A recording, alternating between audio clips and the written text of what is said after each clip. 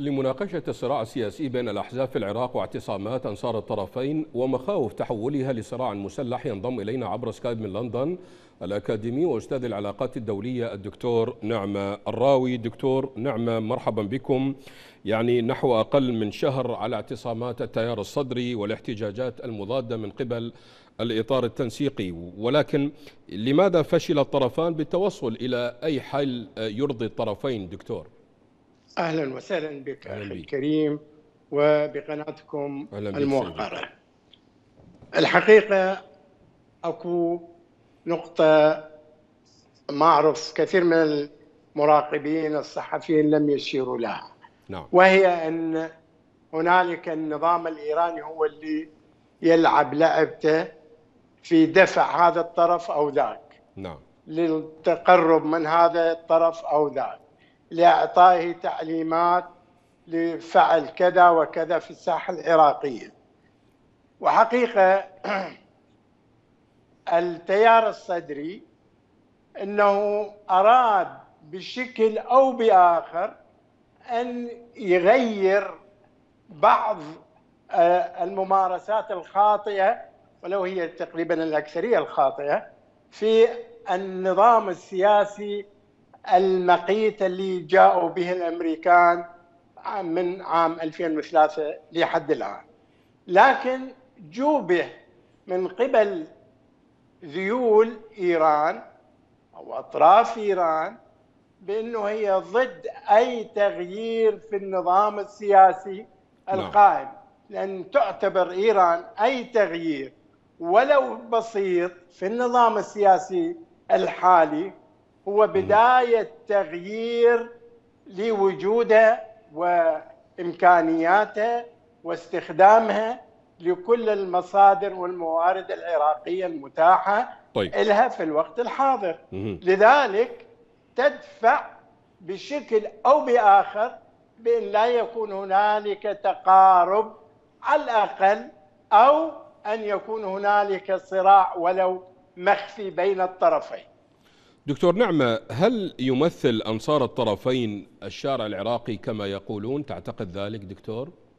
حقيقة هذا بعيد كل البعد عن الحقيقة. طيب. الشارع العراقي كبير وواسع وله مهام وله مستقبل وله منظور وله تحليل وله فرص متعددة في المستقبل والإمكانيات والتصور فإذا لا يمكن أنه يختزل الشعب العراقي أو الإمكانيات العراقية بما يمتلكه التيارين التيار الصدري والإطار الذيلي لإيران.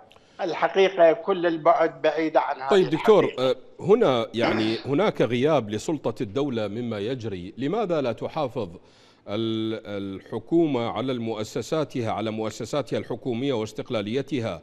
هل ساعد تهاونها في الوصول إلى ما نحن إليه الآن دكتور نعمة؟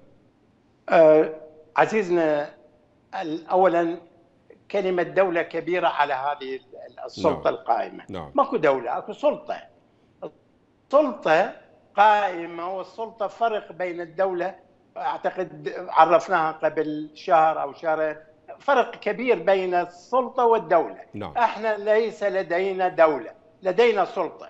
السلطة ضعيفة واهنة ليس لها مخالب ليس لها إمكانيات بل ضربت ضرب رئيس الوزراء ولم يحرك ساكنة. بل جوس على صوره داخل المزرعة الخضراء ولم يحرك أين الحكومة؟ الحكومة هي الميليشيات اللي هي تدير العملية السياسية الخفية خارج الإطار المنظور لذلك إنه عندما نقول أكو سلطة نعم أكو سلطة لكن سلطة واهنة سلطة ضعيفة لا يمكن الاعتداد بها ولا يمكن أن تلبي طلبات الجماهير أو دكتور الشعب. دكتور نعمة هناك من يتحدث عن ربما يصار الأمر إلى صراع مسلح بين الفرقاء السياسيين حيث أن الطرفين يمتلكان ميليشيات. في هذا الإطار وفي هذا المفصل كيف يمكن للشعب العراقي أن يثق بطرف سياسي يستعمل السلاح لترهيب الآخر؟ طبعا كما جرى في ثورة تشرين. أنا أعتقد الصدام هذا رأيي هذا رأيي. نعم. لا لا يمكن أن يكون هنالك صدام بين طرفين الشيعيين. ليش؟ لأن هنالك ضوابط من قبل إيران لن تسمح بهذا لن تسمح بأن يتقاتل الشيعة فيما بينهم. لن تسمح بهذا. نعم. ستكون هنا وحتى المرجعية ما يسمى بالمرجعية الرشيدة آه، أنه ستدخل على الخط أيضا إذا كان هنالك في تصادم شيعي شيعي. وأعتقد أيضا وهذا حقيقة يعني يجب أن أقول الصدر عندما يرى الأمور متأزمة إلى حد الصراع يتراجع. يتراجع. ما يتخذ القرار النهائي واللي يجعل من الخصم أن يحسب له حساب. لأن الخصم المقابل هو عارف أنه الصدر راح يتراجع. طيب دكتور في هذا الحديث وذكرتم أنتم زعيم التيار الصدري مقتدى الصدر. هل تعتقد أنه ربما يمتلك أوراق أخرى يمكنها أن تقلب الطاولة على مناوئه السياسيين؟ هل ما جاء به الصدر هو إصلاح حقيقي دكتور؟ أنا أعتقد يجب أن نقول نعم أكو إصلاح. كان فاسد. نعم. التيار الصدري كثير منه كان فاسدين. بل الأكثرية كانوا فاسدين. لكن رب ضارة نافعة عندما أراد أن يصحو وأن يغير وأن يطور وكذا ليش لا؟ يجب على الآخرين أن يأخذوا بيده.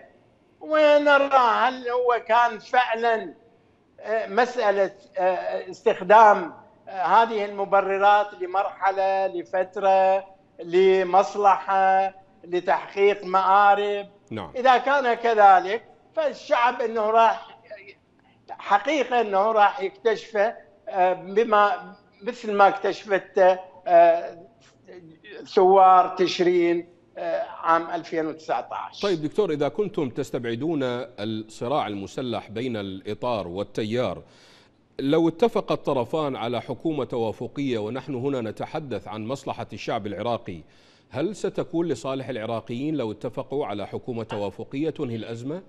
أخي الكريم هذه من المستحيلات أسجلها عليه من المستحيلات أن يتفق الإطار مع التيار والتيار مع الإطار. لأن أصبح بينهم ما صنع الحداد كما يقول المثل العراقي. فهذه مستحيلة أن يلتقوا ولو ولو بعد حين. لن يلتقوا. أصبح هنالك آه، آه، شق بيناتهم كبير وهذا الشق ليس من السهولة جمعهم وتناسي الماضي. أصبح كل شخص يعد للآخر بإيقاعه بحيث لن يقوم له قائمة مرة أخرى. عبر سكايب من لندن الأكاديمي وأستاذ العلاقات الدولية الدكتور نعم الراوي شكرا جزيلا لكم.